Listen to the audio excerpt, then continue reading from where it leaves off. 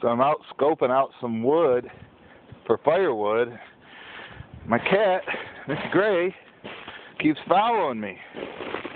Why do you follow me in the snow, Grey? Cats don't go in the snow. You don't own me, I own you. Right, Mar? Looks like there might be some wood over here, Grey. Let's go check it out. You gonna follow me? Why are you following me in the snow, Grey? Cats don't follow. Why are you getting all puffed up? You hear a rabbit or something? What do you think, Grey? Maybe when the snow comes off these, we can uh, we can get it. Why on that, Grey? Why on that little stick? You trying to get your feet out of the snow? You cold? Huh? What are you doing, Grey? Is it getting deep? Look how deep it is. Oh, poor Grey.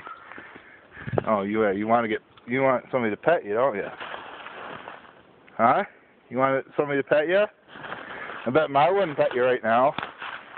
I know Patty wouldn't. What are you doing, Grey? What do you want? Want somebody to pet you? No, you don't want to be pet. No. You don't want somebody to pet you. I know you, Grey. We're way away from the house, Grey. You're way out in the woods following me. I didn't need a helper today, Grey. Did I say I needed a helper? Grey, what are you doing? Quit following me, Grey. Want to check out this log over here? A nice old red oak. Hopefully it's not too rotten. Uh-oh, you smell something. There's tracks in the woods, and those aren't cat tracks.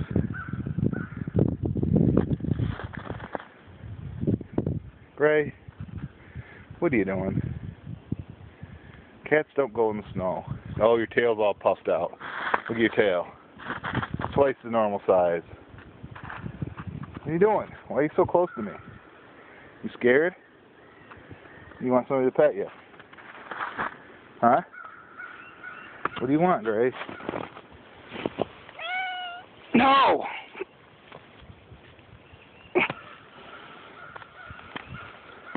Alright, Grey. I'm sure Patty and Mar, Barb, Melinda, they won't like this movie. They don't like any of your movies,